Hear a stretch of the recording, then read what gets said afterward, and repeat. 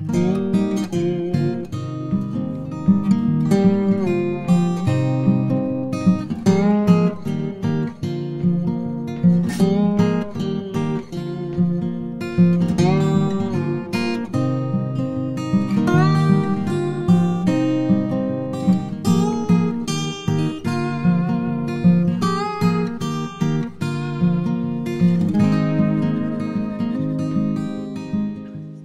Mittelalter wurden Markthallen wohl als Hallecken bezeichnet. Daher ist auch der Name dieser zwei kleinen Straßen, der große und der kleine Halken.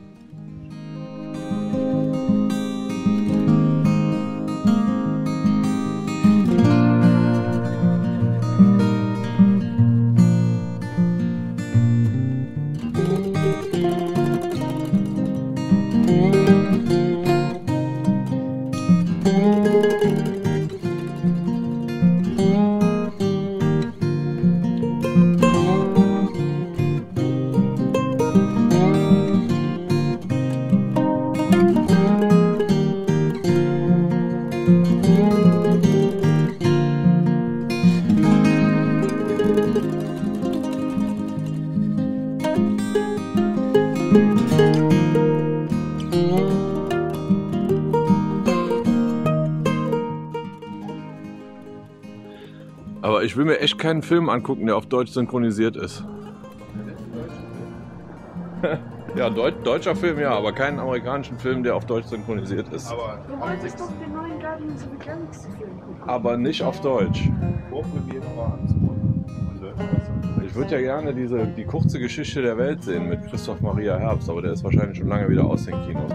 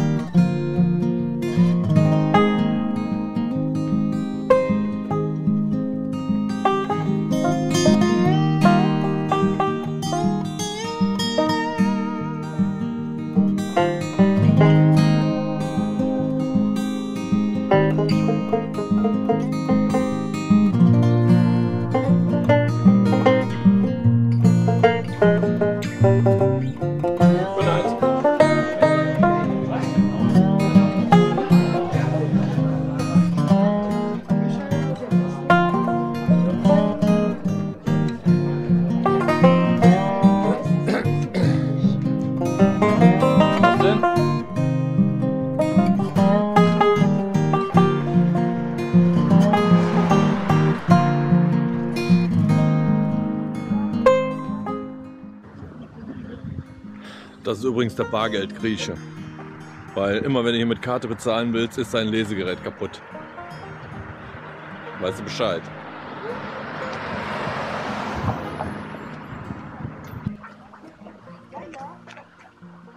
Schön sind auch die Öhmchen da auf ihren Mopeds. Wo ist denn der Helm? Ohne Helm.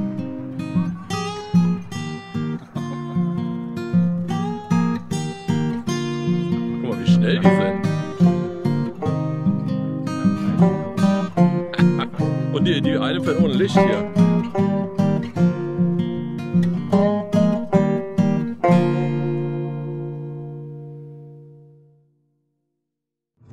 So, dann sind wir schon im. In welchem Tag sind wir eigentlich? Tag 3 unserer Deutschland-Tour. Heute ähm, ja, besuchen wir noch eine Freundin in Kroppenstedt und schauen auf dem Weg dahin äh, in Halberstadt noch vorbei. In Halberstadt zum einen gibt es da eine Mall und wir versuchen nochmal unser Glück mit Birkenstocks.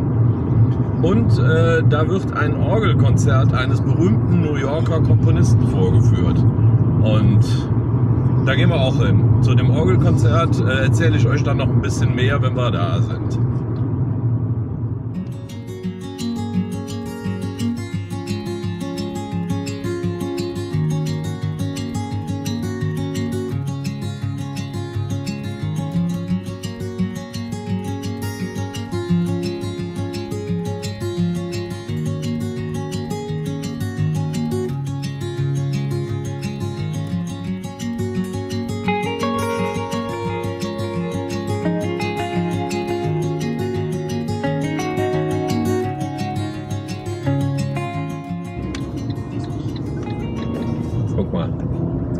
Keiner blinkt, wenn es in den Kreisverkehr reingeht.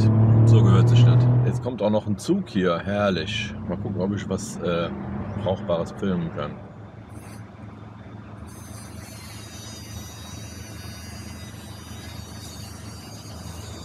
Da ist er ja.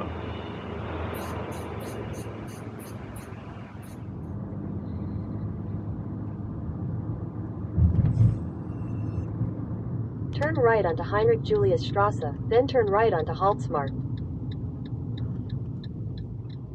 Turn right onto sind Rathauspassage Halberstadt. Animatronics. American Hot Dog. Hier haben wir mal Sagerland gekauft.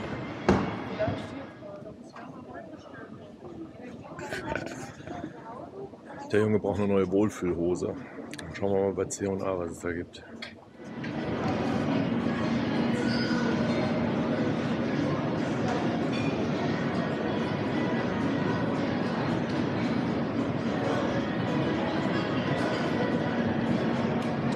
Eine weitere Birkenstocklose Mall.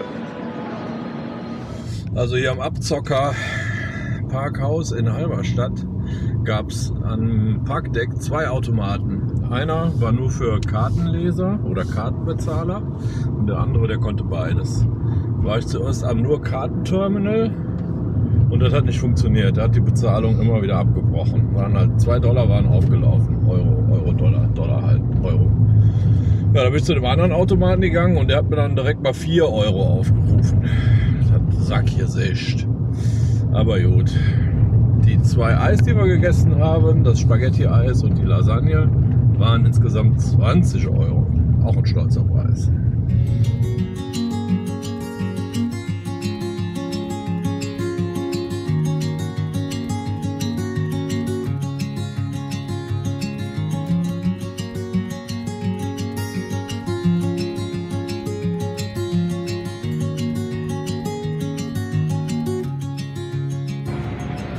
So, jetzt sind wir hier am Buchadi-Kloster. Hier findet also ein Orgelkonzert statt, komponiert von einem New Yorker, John Cage.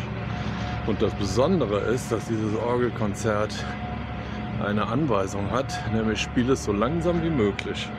Und die führen das hier auf, verteilt über mehrere hundert Jahre. Wir wissen jetzt so.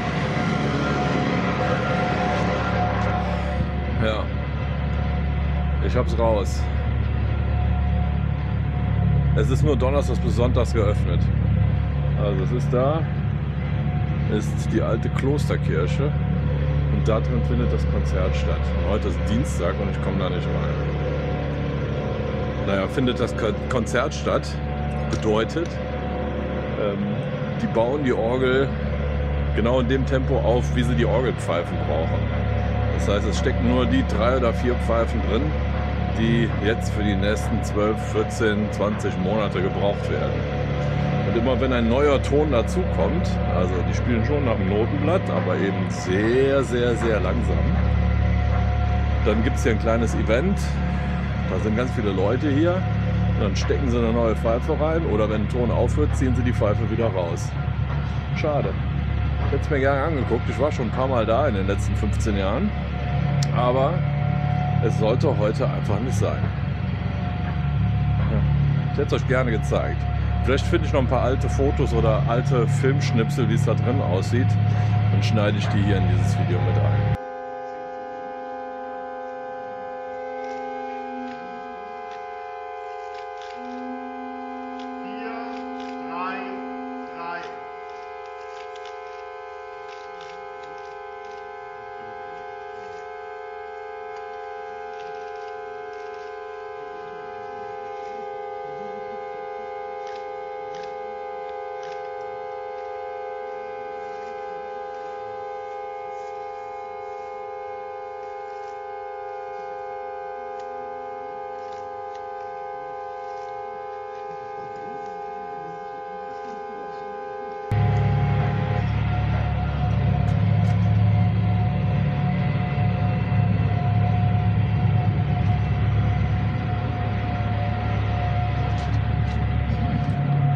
Wäre halt auch schön gewesen, weil eben der John Cage ein New Yorker ist, ähm, dass wir hier eine kleine Verbindung hergestellt hätten. Schade, schade, schade. Für, für 639 Jahre wird hier im Buchadi-Kloster das Orgelkonzert gegeben. Ich hätte gerne mal wieder reingehört. Es dröhnt einfach nur da drin, aber ja, ist so. Machst du nix. Fahren wir weiter. Aber geiles Wetter haben wir. So, der letzte Tag in Aschers Leben neigt sich jetzt auch schon dem Ende zu. Wir waren gerade bei der Fiola und äh, wurden gezwungen, einen Döner zu essen. Und jetzt können wir uns kaum bewegen.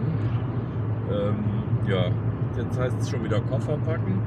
Und morgen geht es dann schon wieder auf die Piste zum größten Teil unseres Roadtrip in die Eifel.